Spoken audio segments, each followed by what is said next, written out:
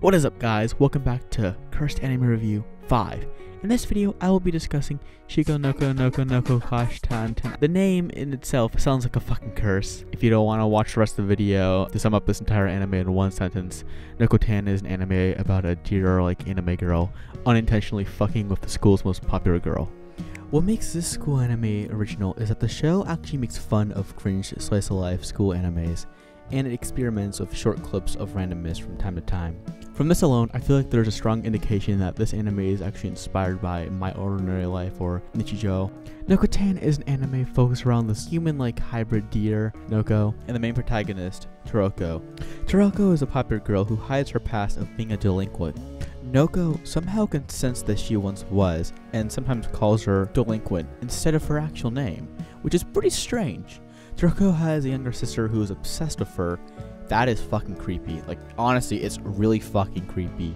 And there's even a debate in episode 3 with Noko publicly where they expose things about Toroko, what she does in private, but like, it's kind of funny at the same time. My impression I got from the show is that's half shitpost, half mockery of generic school slice of life tropes. I mean, the show is literally self aware. If you go to the 4 minute mark of episode 5, there is a mention of Noko about how she gets fan mail or something along those lines, and it mentions that there's an anime studio. When the trailer came out before the anime released, I had no idea what to expect. Because of that, I actually saved the date for episode 1's release. After watching episode 1, I was a bit shocked that this is actually very different from the standard boring school story animes. And the fact that no one notices that Noko is a human deer hybrid, or at least no one points it out, only people of the deer club kind of know. I find that pretty strange, not gonna lie. Noko, despite being a main character, we know almost nothing about her background or what she even is. The show's very vague on is she human, is she deer? They save that up for episode 5, though. Not gonna spoil anything, however, they do mention her background, finally. At the time of recording, episode 5 is actually the most recent. Also the second best, in my opinion. My favorite is episode 1. The pilot episode is pretty damn good, I'd recommend that. Now on to the ratings and conclusion. On an art scale, I feel the art in this anime is a solid 10 out of 10. The eyes have a very colorful look to them, and I have no clue why other anime studios do not have eyes that look like this. Like, honestly, I really like the design. Uh, I mean, there's a few, but I mean, I feel like that should be the standard. They're pretty damn sick. The characters look almost perfect. The detail in the background is just right. None of it's a distraction but it's not overly simple. This is like the ideal art. 10 out of 10. Now, comedy anime usually has a stereotype of lacking real comedy and usually devolves into high school underage girls with gigantic titties and making embarrassing mistakes. But Noko-tan defies that expectation by having actual comedy at times that will genuinely surprising you. This section gets a 9 out of 10. Now, the characters are good, However, I feel there's only two really great characters, and that is Noko and Toroko. They are the two main characters in the show. I don't know much about the others.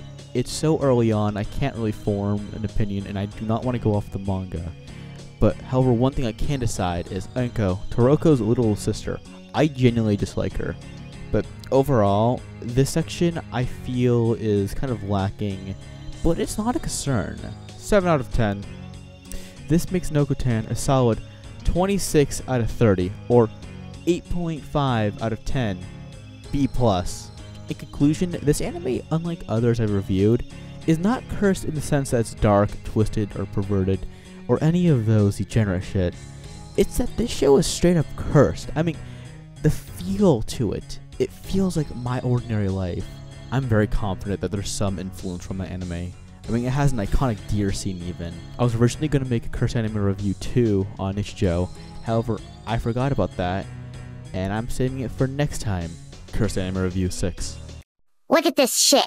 Look at this stupid bullshit restarting in 12 minutes and 58 seconds. This shit comes up on my computer every single day, automatically. Your PC needs to restart to finish installing important updates every single day. And every single day, I click later. You know why I click later? Because there's no option to click never. I'd like to click never. I never want to install these bullshit, meaningless, superfluous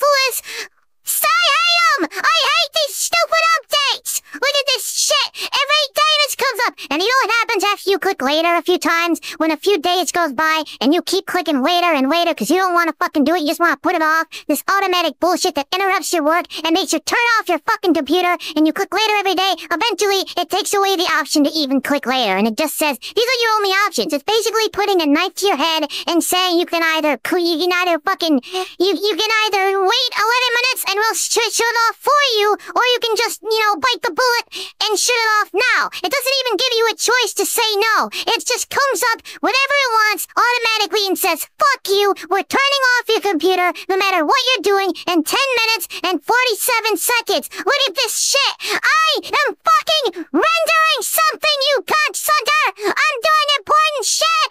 Why do you need to install